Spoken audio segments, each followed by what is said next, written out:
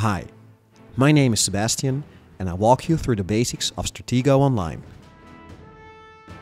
We offer four types of play. You can play alone against the computer, you can do a quick play against a random opponent, you can play ranked, that means that if you win, you win points and if you lose, you lose points, and you can invite a friend to play. Let's see who's online.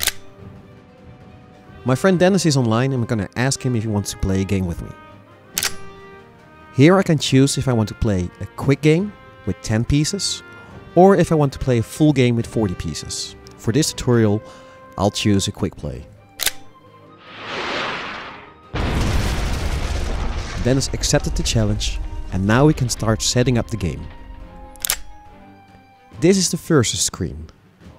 In this screen you can see your own statistics, the statistics of your opponent, and you have the chance to customize the piece team and the battlefield.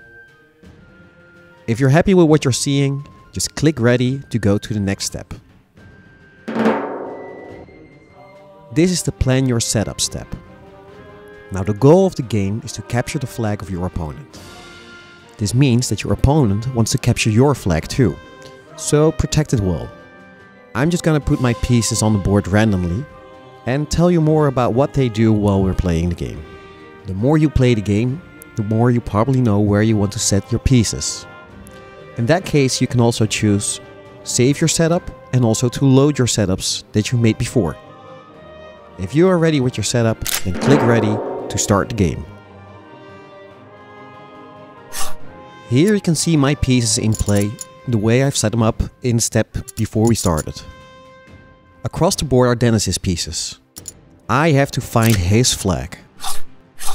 If you want to know more about the piece, just click on the piece and then you can see his rank and what it does under the screen. The scout has a special ability. It can move any number of steps, either horizontal or vertical. The other pieces can only set one step every time.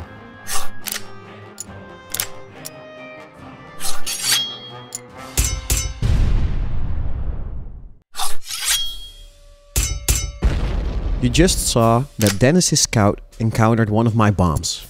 If a piece encounters a bomb, it will be removed from the board. The only piece that can defuse a bomb is the miner.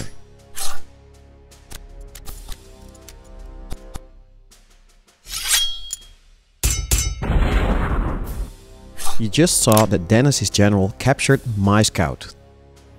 His general is rank 9. The higher the rank, the more powerful a piece is. If pieces of the same rank hit each other, they are both removed from the board.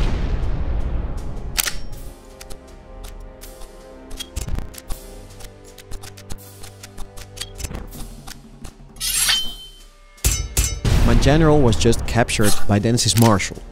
Now the marshal is the highest ranked piece in play. It can only be defeated if the spy catches the marshal. The spy, on the other hand, is the lowest ranked piece in play. It can be captured by any moving piece.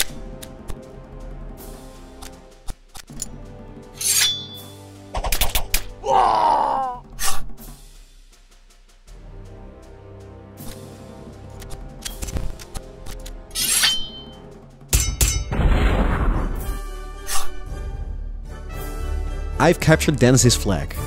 And now you see the victory screen with some more information about the game we just played. We just gave you a quick overview with the 10 to 10 game, but 40 to 40 game is still awaiting you.